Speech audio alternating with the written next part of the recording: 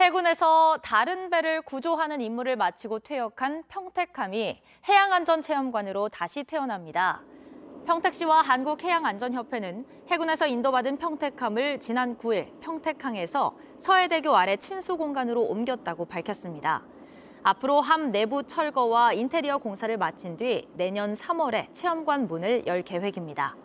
평택함 해양안전체험관에선 입수 방법과 생존 수영법 등을 배울 수 있습니다.